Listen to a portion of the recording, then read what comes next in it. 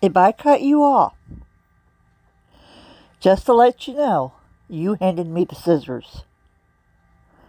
Because I don't cut people off so lightly. You had to have pushed me over the edge to cut you off. Because when I say I love you and I will always be there for you, I meant that. I love you and I will always be there for you. But if you can't do the same for me, I don't know what the point is of hanging on. So you let me know. Okay, you let me know because I give my heart to you guys. And all I ask in return, all I ask in return is for your faithfulness in me. You know, your honor in me.